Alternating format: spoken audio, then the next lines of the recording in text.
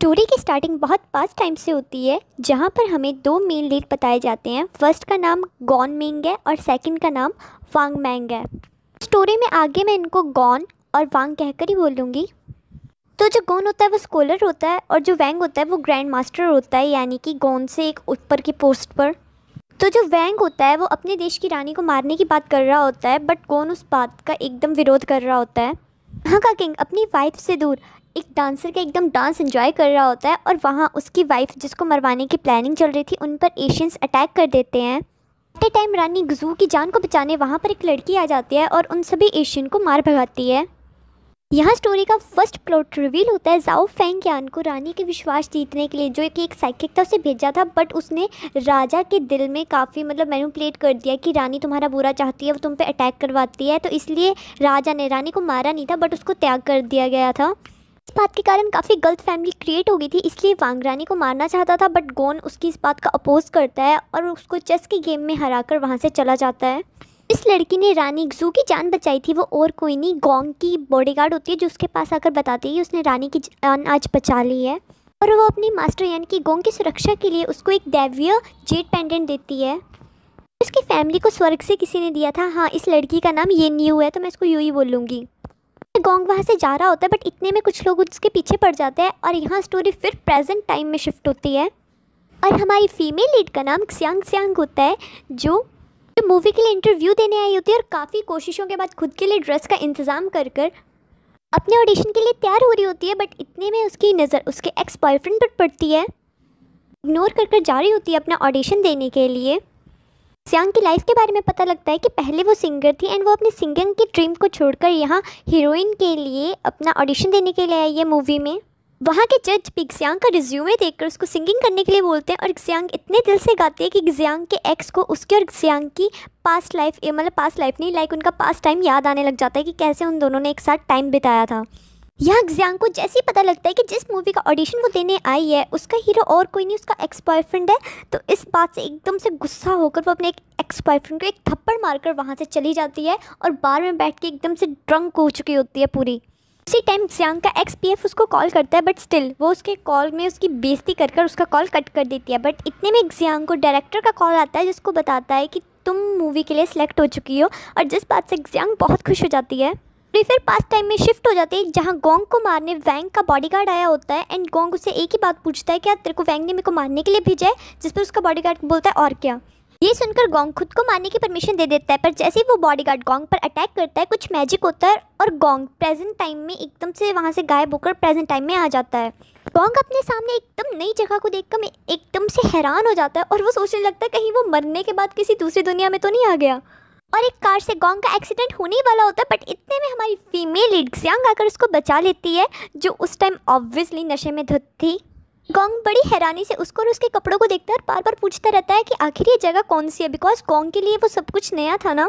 But हमारी female गिजियांग जो obviously नशे में धुत थी, उसको ये लग रहा होता है गोंग के कपड़ों को देखकर कि ये भी किसी ड्रामा में काम करता होगा और अपने आप को बता रहा है कि भाई मैं स्कॉलर हूँ।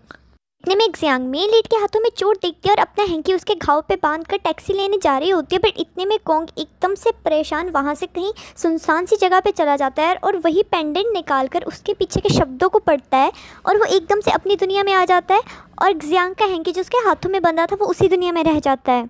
यहाँ जियांग की सिस्टर और भूरे बालों वाला प्राणी बहुत खुश हो रहे होते हैं बिकॉज़ जियांग को मूवी में रोल मिल गया होता है और इतने में जियांग का एक्स बॉयफ्रेंड उसको कॉल कर कर मिलने के लिए बुलाता है और ना चाहते हुए भी जियांग को उससे मिलने जाना पड़ता है।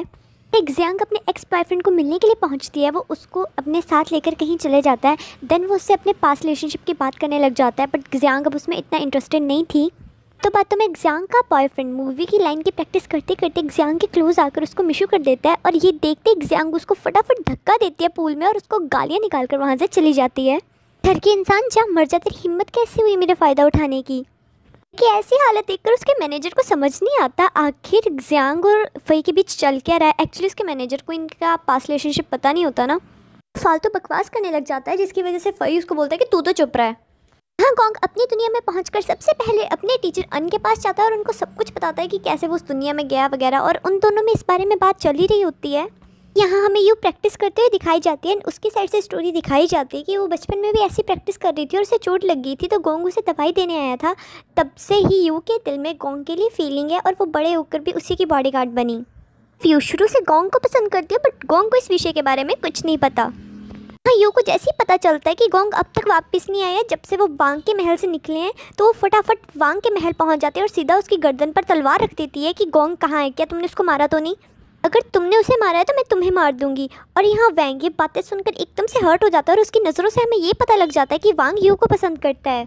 एंड बातों बातों में यू के सामने दो सिचुएशंस रख देता है कि मेरे में और गोंग में तेरे को किसी एक को चूज़ करना पड़े तो तू किसको चूज़ करेगी? जिस पर यू बिना सोचे समझे गोंग को ही चूज़ करती है और जिस बात से वैंग और भी हर्ट हो जाता है, वो अपने बॉडी गार्ड को यू को बंदी बनाने के लिए बोल देता है और साथ में उसको ये भी बोल देता है कि उसको कोई नुकसान ना पहुँचाए। तो यू के ज़रिए गोंग को पकड़ना चाहता था और यहाँ हमें वांग का, बचपन का एक सीन दिखाया जाता है कि जिसमें और बच्चे उसको बुली कर रहे थे, उस टाइम यू ने आकर उसको बचाया था। और यहाँ गोंग को भी पता लग जाता है कि उसके बॉडीगार्ड को वैंग ने पकड़ लिया है। यहाँ दूसरी तरफ़ ज्यांग उसकी सिस्टर और ये ब्राउन बालों वाला प्राणी बहुत खुश होते हैं उसकी मूवी की शूटिंग के लिए, पर वहाँ जाकर ज्यांग को अपनी ओपोनेंट हीरोइन से पता लगता है कि उसको ये रोल उसकी काबिलियत पर नहीं बल्कि उसके एक्स बी एफ़ के कहने और कनेक्शंस पर मिला है, जिस बात से ज्यांग को बहुत बुरा फील होता है और वो अपने एक्स बी एफ़ को सामने खड़ा कर, यानी कि फई से पूछ ही लेती है कि यह क्या ये सच है, जिस पर ऑब्वियसली उसका एक्स बी एफ़ भी करता है हाँ ये सच है।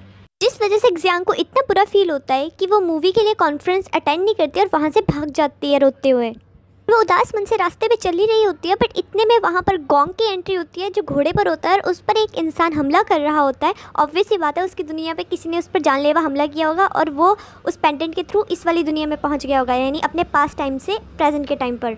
गोंग को मारने के लिए जैसे वो इंसान उस पर हमला कर रहा होता है बट इतने में जियांग आती है और वो गोंग को सेव करने लग जाती है और इसी बीच जियांग बुरी तरह घायल हो जाती है और बेहोश हो जाती है और गोंग भी फटाफट लड़कर जियांग को संभालता है। होश तो आता है, पर वो उस मरे हुए इंसान को ऐसे हवा में गायब होते देखकर फिर से बेहोश हो जाती है।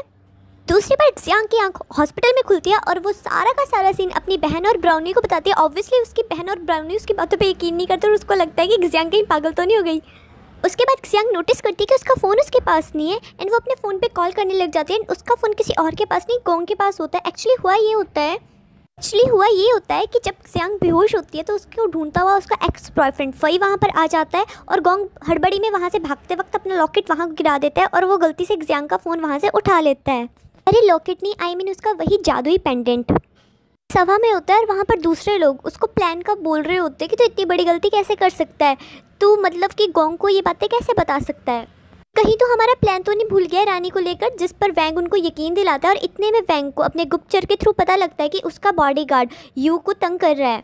एक्चुअली वैंग का बॉयफ्रेंड यू को काफ़ी मार पीट कर और दर्द देकर उससे पता कर रहा था कि आखिर गोंग कहाँ है, हमें बता। और एट लास्ट वो गर्म स्लाग से यू को जलाने वाला होता है कि बता गोंग कहाँ है बट इतने में वहाँ वैंग की एंट्री हो जाती है और वो उसी गर्म स्लाग से अपने बॉडी को जला देता है।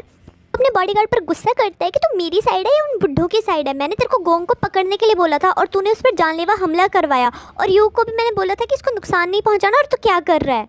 वहाँ से सभी सैनिकों को भगाने के बाद बैंक फटाफट क्योंकि रस्सियाँ खोलता है और उसको बताता है कि अभी तक गोंग की बॉडी नहीं मिली है, इसका मतलब वो ज़िंदा है। इस, इसे सुनकर मतलब यू को भी काफ़ी राहत होती है। यहाँ गोंग सोलहवीं शताब्दी को छोड़कर इक्कीसवीं शताब्दी की जगहों को बड़े ध्यान से देख रहा होता है कि कैसे रास्ते हैं, कैसी गाड़ियाँ हैं, वगैरह वगैरह। वैसे देखा जाए तो गोंग अपने हिसाब से तो फ्यूचर में आया था ना। कहाँ वो सोलहवीं शताब्दी से बिलोंग करता था, कहाँ वो इस टाइम इक्कीसवीं शताब्दी के अंदर था। और यहाँ जियांग भी अपना फ़ोन ढूंढते ढूंढते गोंग के पास पहुँच ही जाती है बट उस टाइम गोंग अच्छी कंडीशन में नहीं होता। इतने में उन दोनों को पुलिस आकर पकड़ लेती है एक्चुअली जियांग ने तो हॉस्पिटल के कपड़े पहने होते हैं और ऊपर से गोंग। उसका मतलब हुलिया हुलिया भी ऐसा होता है कि डॉक्टर को शक हो जाता है, कहीं दोनों मेंटल हॉस्पिटल से भागे तो नहीं है बट स्टिल दोनों वहाँ से भी रफू चक्कर हो जाते हैं।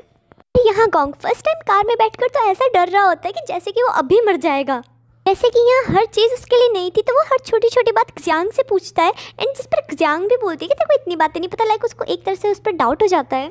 किसियांग फटाफट अपने डायरेक्टर के पास पहुँचते हैं उसको सॉरी बोलने के लिए बिकॉज़ उस दिन उसने मूवी की कॉन्फ्रेंस अटेंड नहीं करी थी, जिस वजह से उनको काफ़ी प्रॉब्लम्स का सामना करना पड़ा था। डायरेक्टर उसे दूसरी हीरोइंस को सॉरी बोलने के लिए कहते हैं और यहाँ पर जियांग नोटिस करती है कि गोंग को चोट लगी है, वो फटाफट उसकी चोट पर दवाई लगाती है और गोंग का पूरा लुक चेंज कर देती है। आई मीन उसके बाल कटवा देती है। गोंग का रिएक्शन मेरे को लगा कि तुम मेरे को किसी डॉक्टर के पास लेके जाओगे, पर तुम तो मेरे को नाई की दुकान में ले आई और तुमने मेरे बाल भी कटवा दिए। क्या तुम पागल हो? तुम्हें पता है बाल पेरेंट्स के थ्रू बच्चों को दिया गया है गिफ्ट होता है। लाइक उस टाइम पे बाल काटना काफ़ी बैड ओमन मानते थे लाइक बहुत अशुभ मानते थे। यहाँ वैंग गोंग को याद कर रहा होता है। एक्चुअली दोनों बचपन से काफ़ी अच्छे दोस्त होते हैं और यहाँ गोंग भी वैंग को याद कर रहा होता है। यहाँ ज्यांग दूसरे हीरोइन के पास उस दिन के लिए सॉरी बोलने के लिए जाती है कि जिस दिन वो कॉन्फ्रेंस से भाग गई थी बट वो दूसरी हीरोइन बड़ी बेशर्मी से ज्यांग की इंसल्ट करते हुए उसकी सेल्फ रिस्पेक्ट को हर्ट करते हुए ये बोलती है कि अपने घुटनों पे आकर मुझसे माफ़ी मांग।